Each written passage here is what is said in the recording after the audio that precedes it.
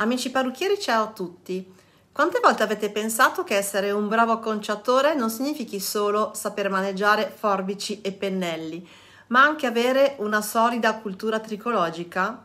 Sì, lo so, sembra un po' come tornare sui banchi di scuola, ma la verità è che nella bellezza dei capelli la cultura fa davvero la differenza.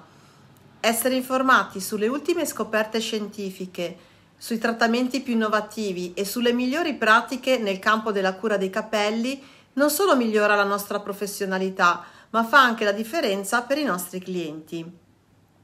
Quindi, se siete pronti ad ampliare le vostre conoscenze e a scoprire nuove prospettive sulla cura dei capelli, siete nel posto giusto. Oggi voglio condividere con voi un'opportunità imperdibile che potrebbe trasformare il vostro approccio alla cura dei capelli.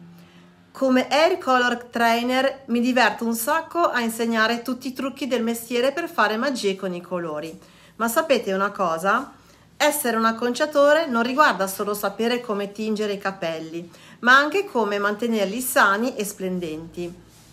Quindi sì, possiamo essere degli artisti con le forbici, ma dobbiamo anche essere un po' nerds nei, dei capelli.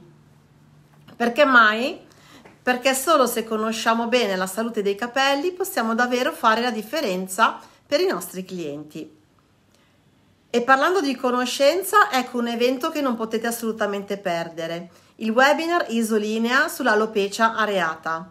È gratis, quindi non c'è scusa per non partecipare.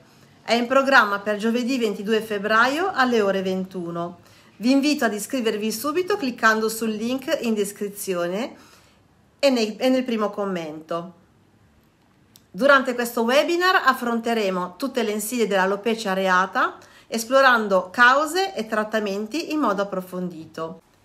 I relatori dell'evento saranno Stefano Bucci, fondatore di Isolinea e affermato tricologo, e il dottor Gabriele Mongitore, esperto biologo. Quindi unitevi a noi per una serata di apprendimento. Più conoscenza abbiamo, meglio possiamo servire i nostri clienti. Non fatevelo sfuggire, ci vediamo là.